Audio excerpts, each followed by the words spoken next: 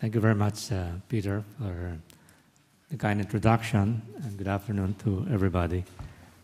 Um, I have uh, a number of uh, slides here. I I'm aware that uh, we should speak for only 10 to 15 minutes. Uh, I'll try to have the discipline, even if I was the, a former politician.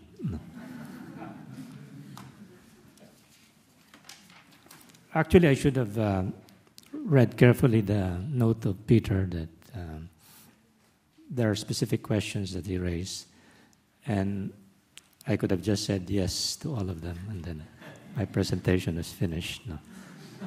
But then uh, I guess uh, some of you might want to hear more about how we did it and what else should be done in the next few years to even uh, withstand a severe crisis as what we have experienced in recent years.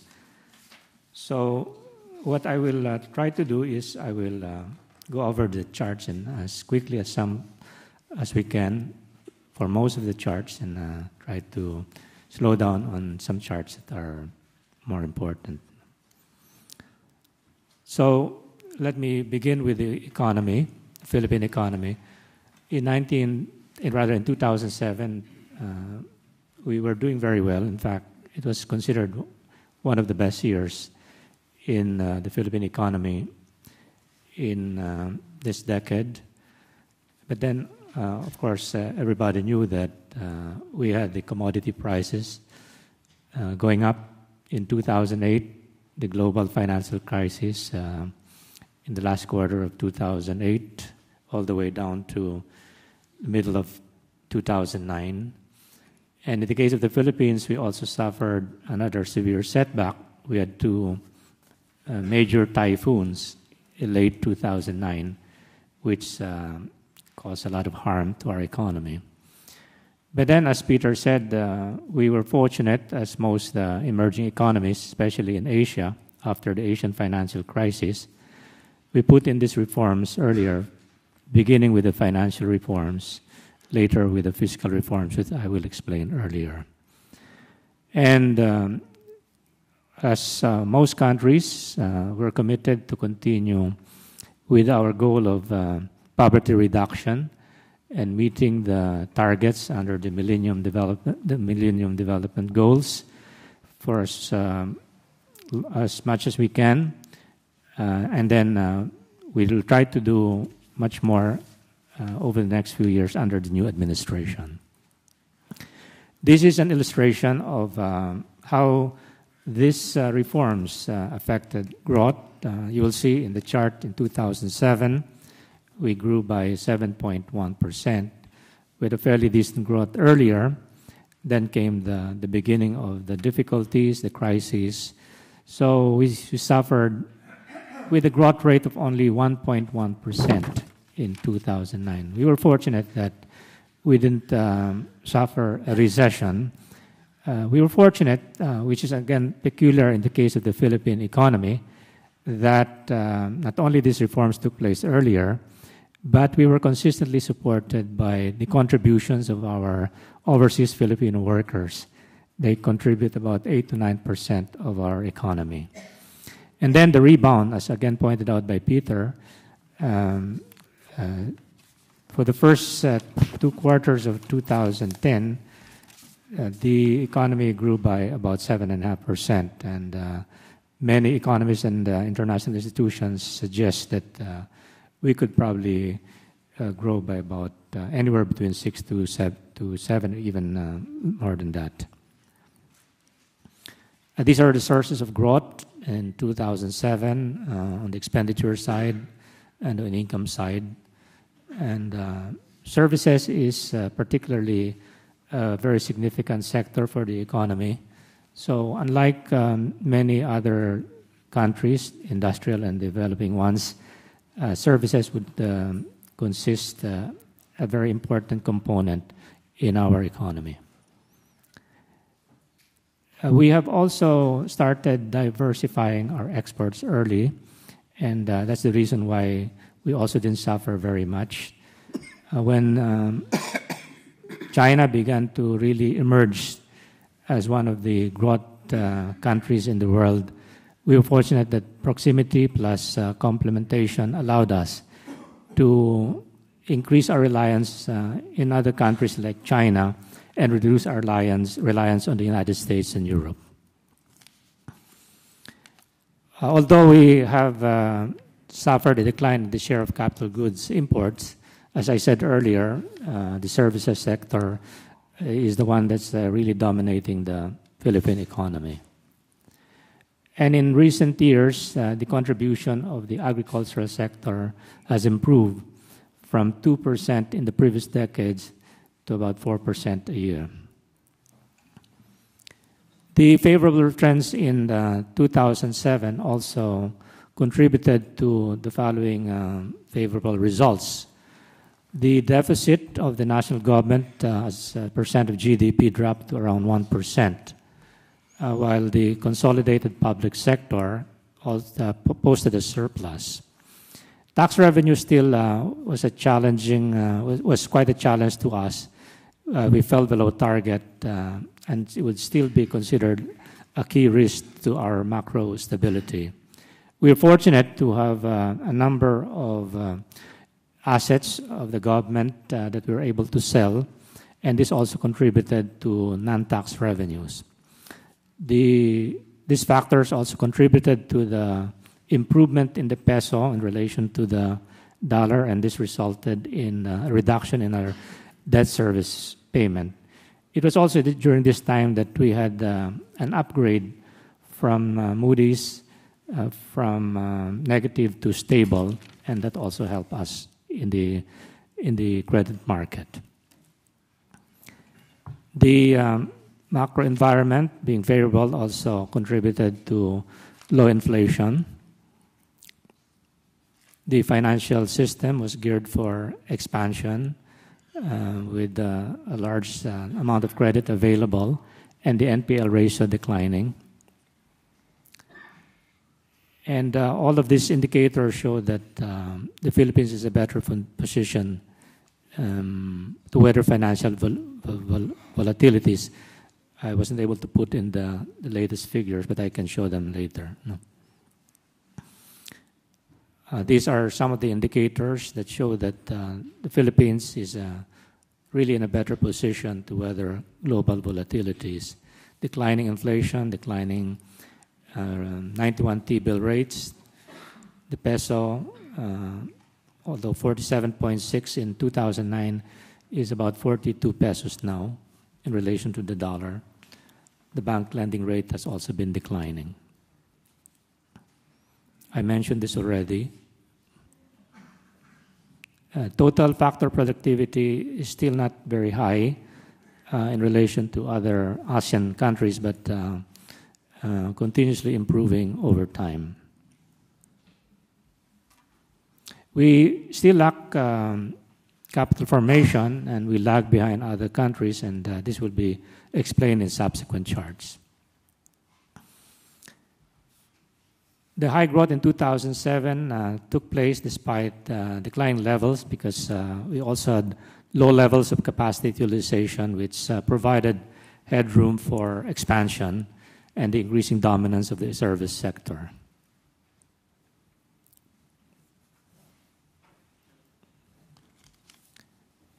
Uh, our manufacturing was uh, operating at only 80% utilization rate.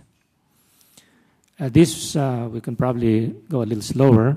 Uh, we have a combination of uh, banking reforms right after the Asian financial crisis in 1997 98, together with the monetary reforms. And the fiscal reforms came a little later. And these were the examples of monetary reforms. The central bank allowed the peso to freely seek its own level. The the central bank raised the liquidity reserves of banks to channel their excess liquidity into treasury instruments, and we started adopting inflation targeting in 2002. The banking reforms included the passage of the General Banking Law of 2000, of, uh, 2000 and the passage of the Special Purpose Vehicle, which was a mechanism for the disposal of non performing loans and improve the asset quality of banks. and reduce the problem assets of the banking systems to manageable levels. The central bank also enhanced the corporate governance standards uh, by instituting safeguards against excessive risk taking, ensuring fair exercise of business transaction, promoting consumer protection, and making the board of the directors fully accountable to its shareholders and the public. Uh, this was the most important uh, fiscal reform that took place uh, in recent years. We expanded the value added tax from 10% to 12%. And we also broaden the coverage of uh, the VAT to include, among others, power and electric cooperatives as well as petroleum products. And as a result, um, the revenues, the tax revenues of the government improve at an average of 1% of GDP annually.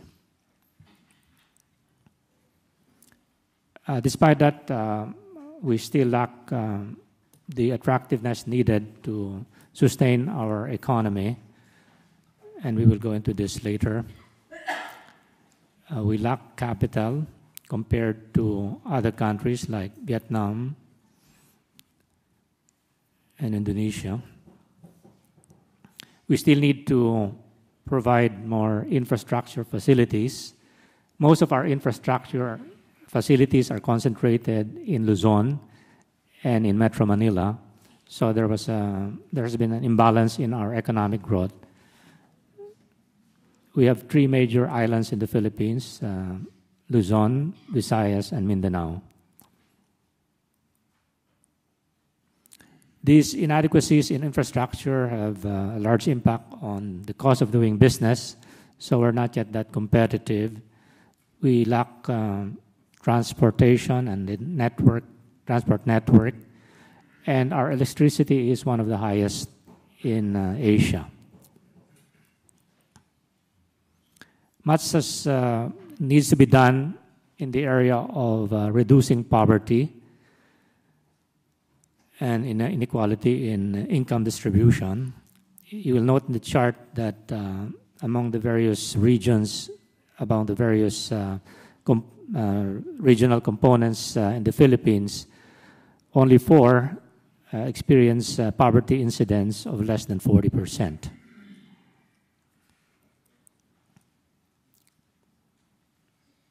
And high inequality can expose institutions to what we call political capture.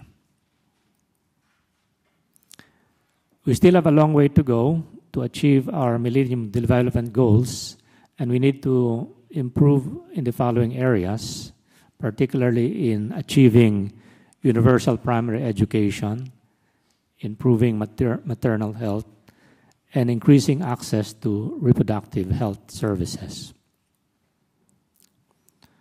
And one of the things that uh, we would normally ask is what has been the reaction of the legislature to the global financial crisis? I guess um, they reacted almost similarly to other similarly to other countries in the sense that uh, in the case of the Philippines, they decided to provide more tax relief and uh, what we call revenue eroding me- measures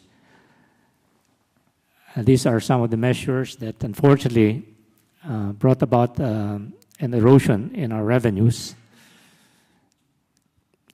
The more significant ones are the individual income tax relief,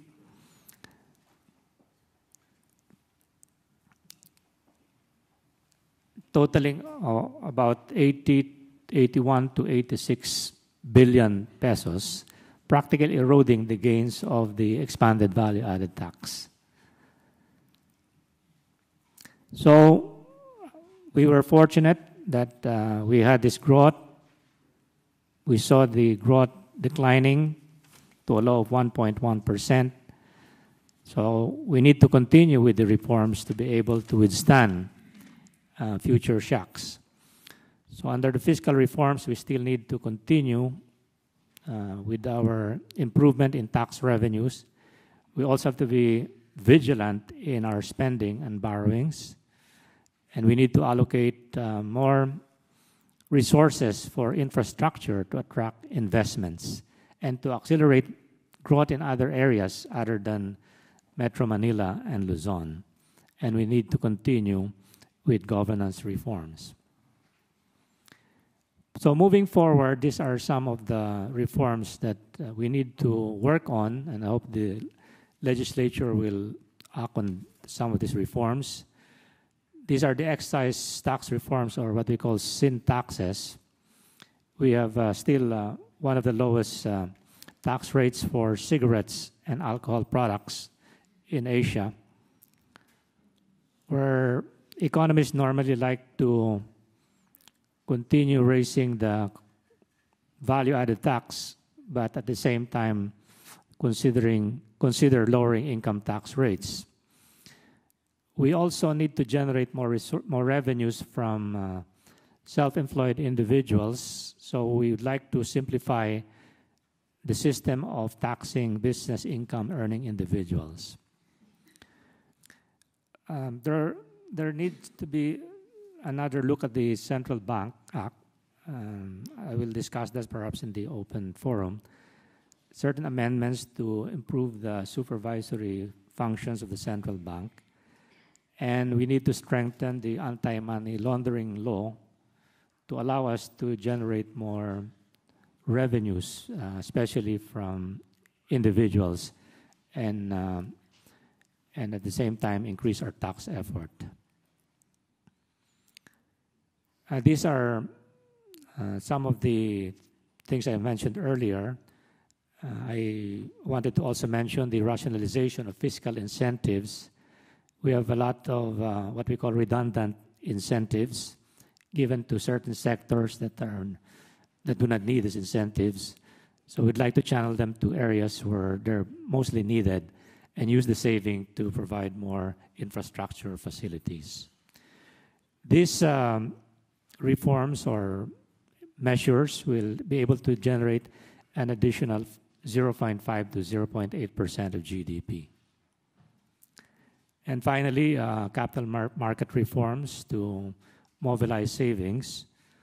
Um, we need to make uh, long-term savings uh, more attractive and be able to use these savings to finance many of our infrastructure facilities. And um, one of these also is pursuing the financial sector tax neutrality reform uh, to provide or promote level playing field for financial institutions and instruments to encourage savings and investments. So this is uh, the summary of uh, our presentation. We need to continue towards the path of fiscal consolidations more resources are needed for accelerated infra development and better social services to allow us to improve resilience to withstand future shocks and overcome challenges in the future. So there you are. Thank you very much.